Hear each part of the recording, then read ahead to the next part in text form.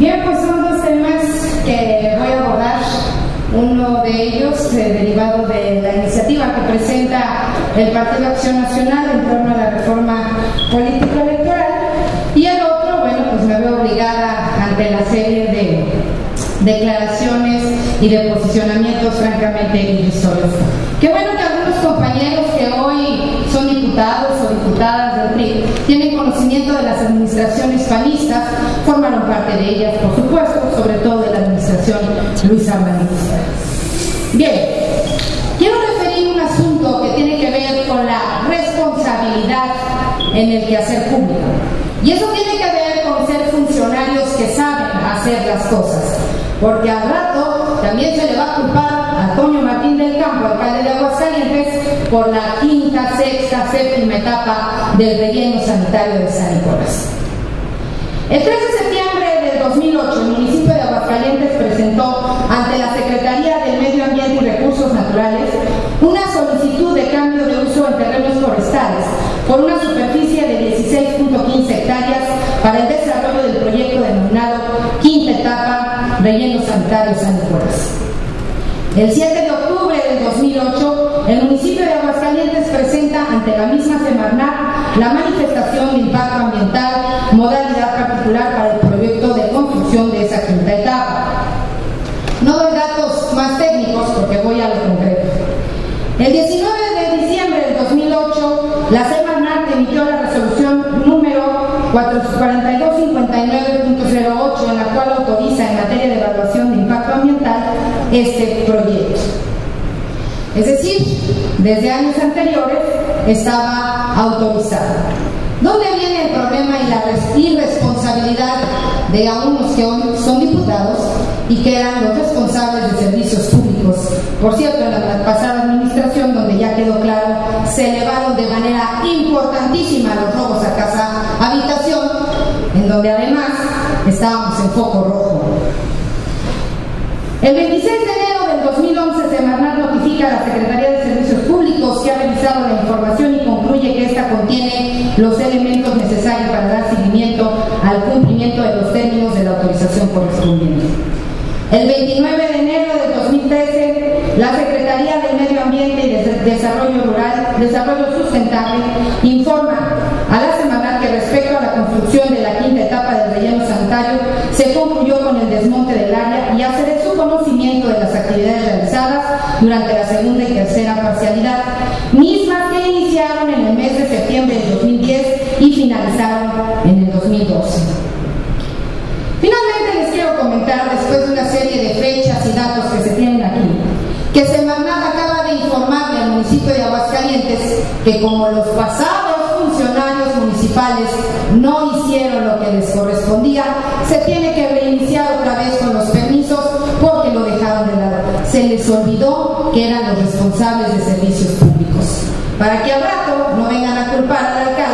de que la quinta etapa, sexta sexta, séptima del relleno sanitario, pues también es responsabilidad de la actual administración. Una herencia más del PRI. Ahora a nombre del Grupo Parlamentario del Partido Acción Nacional, hago uso de esta tribuna para hacer un respetuoso llamado al acuerdo para posibilitar una armonización incluyente y completa en cuanto a la reforma en materia político-electoral, con la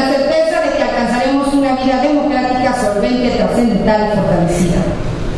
El pasado 10 de febrero del 2014 se publicó en el Diario Oficial de la Federación la reciente reforma constitucional en materia, en materia político-electoral. Fue así que los días 14 y 15 de mayo de este mismo año, el Senado de la República y la Cámara de Diputados respectivamente, en estricto apego a lo dispuesto en el segundo transitorio de la reforma constitucional en materia político-electoral, aprobó la Ley General de Procedimientos e Instituciones Electorales, la Ley General de Partidos Políticos, así como adiciones a diversas disposiciones de la Ley General del Sistema de Medios de Impugnación en materia electoral, de la Ley Orgánica del Poder Judicial de la Federación y de la Ley Federal de Responsabilidades Administrativas de los Servidores Públicos. Ante estas nuevas disposiciones, es de vital importancia que emprendamos un ejercicio de armonización que implique en primer término la modificación de las normas contenidas en nuestra Constitución, mismas que deberán guardar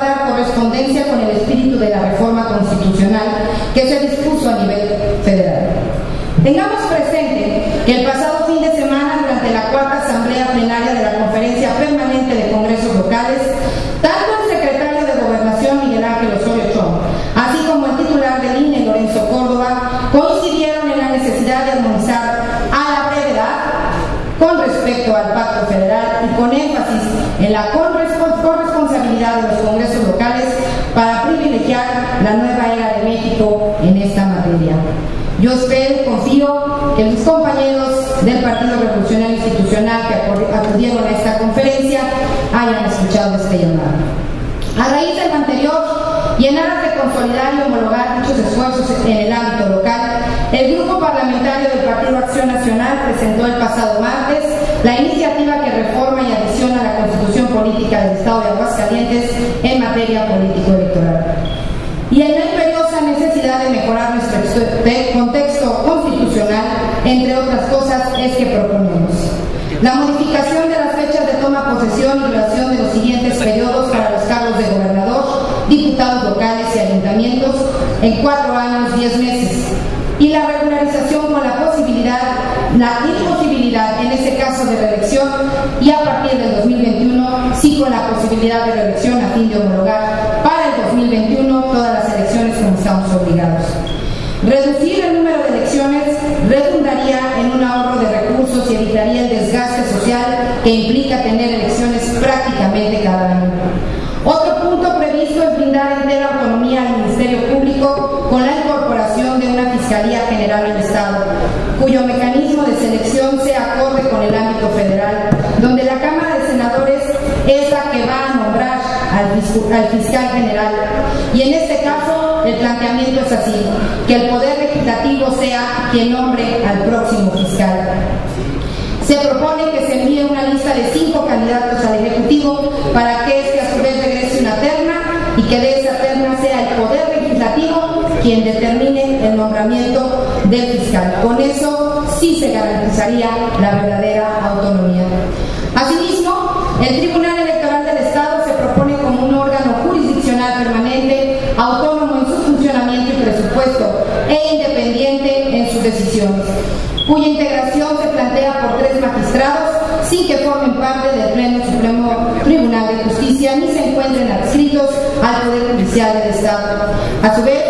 la propuesta contempla el regreso del Tribunal de lo Contencioso Administrativo con la separación de la actual Sala Especial Administrativo Electoral, para que de esta manera se respete la atención a la reforma federal que demanda en la materia electoral y a su vez dar autonomía y profesionalismo al estudio de los asuntos administrativos del Estado. Reconocemos también el respeto irrestricto a la paridad de género que se consagra en la obligación de los partidos nacionales acreditados en la entidad, mismos que estarán constreñidos a la paridad legislativa entre hombres y mujeres para brindar así una igualdad de oportunidades para el acceso a los cargos de elección popular, así como la facultad de las legislaturas locales, donde el PAN propone ir más allá y procurar la paridad de género también en los cabildos. Se consideran además los principios necesarios respecto a la sobre y subrepresentación del Poder Legislativo mediante la reforma y fortalecimiento de nuestra representación, es decir, que se vea reflejado en el Congreso del Estado la decisión de los ciudadanos con sus votos. Otro de los grupos que incluye la propuesta de acción nacional son los mecanismos de participación ciudadana. Se corrigen lagunas y deficiencias en las figuras de plebiscito y referéndum y se incorporan además la consulta popular y la iniciativa ciudadana, temas que reconocemos ha abanderado la izquierda mexicana. En fin, la oficialidad electoral, candidaturas independientes, voto de los mexicanos, en este caso aguascalentenses en el extranjero y el tema de la unidad son algunas de nuestras propuestas. Lo decía acertadamente Gómez Morín en 1926. El deber mínimo es el de encontrar programas que sean las diferencias que nos separen, un campo común de acción y de pensamiento, y llegar a él honestidad, que es siempre virtud esencial ahora y la más necesaria en México. Nuestra congruencia dará vigencia a nuestras leyes e instituciones y con el ejercicio de la libertad responsable y desde luego con acciones concretas, Acción Nacional hoy extiende la mano a todas las fuerzas para encontrar las coincidencias y lograr un dictamen y reformas en materia político-electoral que al final del día podamos decir que lo hicimos por Aguascalientes. voilà I'm